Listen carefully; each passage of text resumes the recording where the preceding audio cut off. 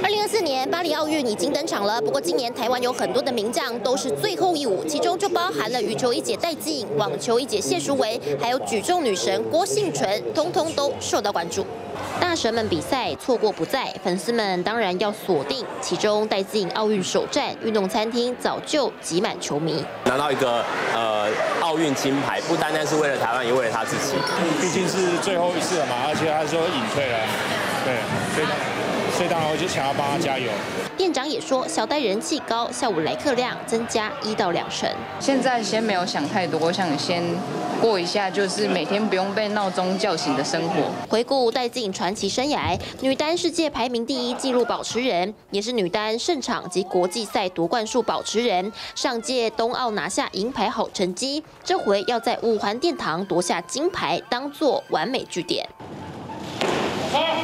奋力一举举出世界金牌，举重女神郭幸淳，二零一六里约奥运夺得五十八公斤级铜牌，二零二一东京奥运五十九公斤级金牌，更是抓举、挺举及总成绩创新奥运纪录。伤嘛本来就没办法一下子就可以好，所以我觉得就是多给他一些时间。郭幸淳也说，要是能继续比赛，就会坚持；退不退役，就看身体状况。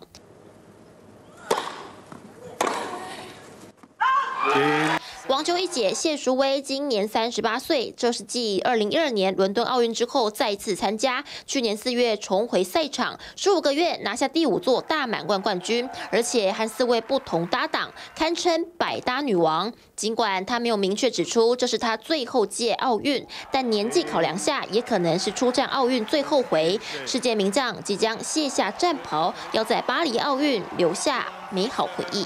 TVB 新闻车杨张慧先台报道。奥运前线掌握最新赛况，热血镜头，五环战场一把照。巴黎迎来第三次奥运，全球目光聚焦花都。七月二十四到八月十一号，请锁定 TVBS 巴黎奥运特派团队报道。